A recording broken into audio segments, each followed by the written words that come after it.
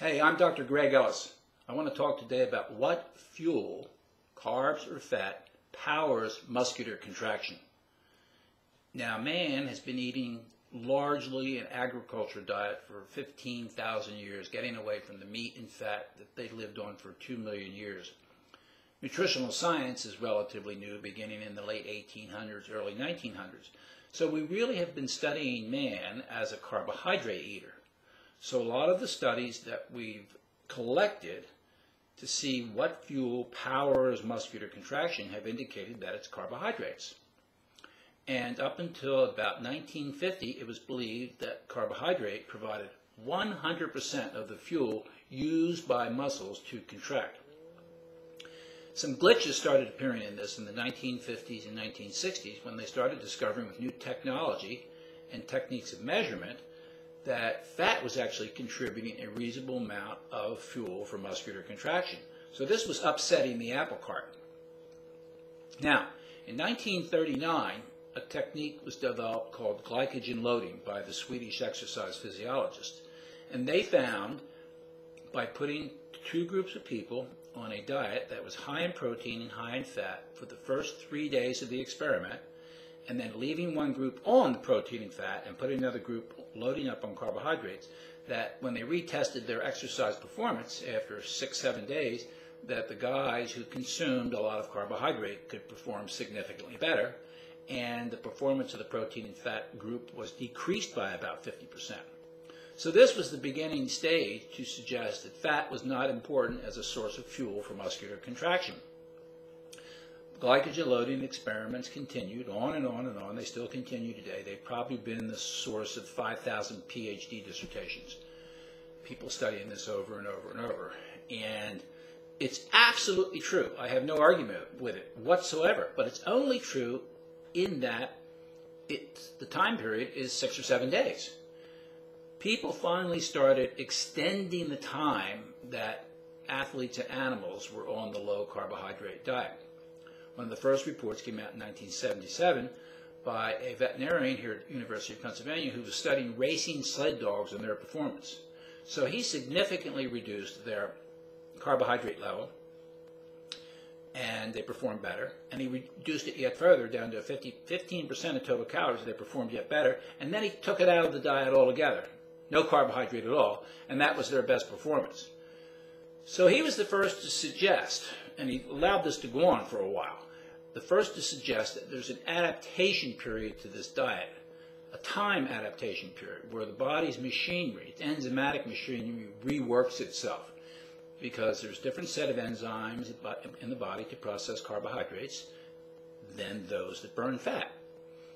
And each of these can be enhanced by both the diet you consume and time. So what we call the antecedent diet is very important if you're going to look at any kind of dietary experiment.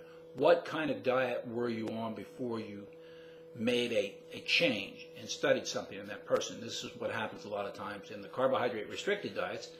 The person's been eating carbohydrates, and now they begin to manipulate the fat, reduce the carbohydrates, and they don't get the response that they think will occur because it can't because the enzymes to process the fat aren't in place.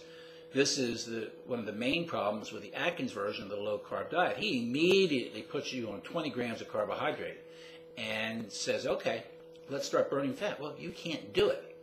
So that's the reason that a lot of people quit the Atkins diet because the first three days you just feel terrible because you have no fuel. You remove the carbohydrates that you're used to burning. You got plenty of fat around, but you can't process it. So that's the problem we run into. Now, some other experiments were begun where we looked at uh, longer time periods. In humans, we looked at four weeks on the diet, and they performed just as well as the people on the uh, normal carbohydrate diet. One of the long-term studies that happened was a study out of France using rats. They put them on 12 weeks of adaptation to a low carbohydrate diet. After that time, they ran in the treadmill 62% longer than the rats eating a carbohydrate meal. So that was the first indication that performance could be fairly dramatically increased by using fat as a source of fuel. Well, all the glycogen loading studies just continued, and they've become the key thing that everybody does. Bodybuilders, athletes, uh, bicyclists, rowers, they all, they all believe in glycogen loading. Now, your muscles contain about 300 grams of, of glycogen. Glycogen is nothing more than a glucose molecule strung together. And in your liver, you've got about 100 grams of glycogen. So if you had to rely on this, you get maybe three days of fuel, and then you're out. Now, the glycogen loading studies have continued unabated since that time, and many of our athletes, and even today, the, the fitness the fitness crowd, they all believe that you got to replenish your glycogen.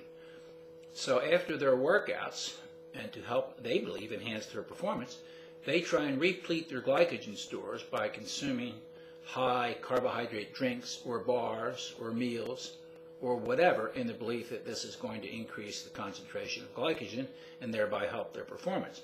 Well, they would be far better off if they would forget about the glycogen, start eating a carbohydrate restricted diet, and enhance their ability to burn and store fat.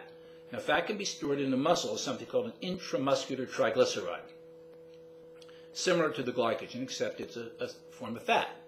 And in, intramuscular glycogen can be enhanced and it can be processed rapidly if you have adapted and you get the necessary enzymes built up in the body over time. And your performance will go through the roof. And your performance will improve in very intense exercise as well.